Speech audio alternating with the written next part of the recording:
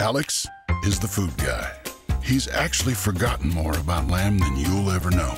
He made the reservation, he ordered the wine, and he's the one to thank for this meal. So while you know terms like split aces and double down, he knows terms like drawn butter and pan seared. And when dinner comes, there's just something nice about having him at the table. That's why he'll always be a part of your group. At Harrah's Resort Atlantic City, everyone plays a part.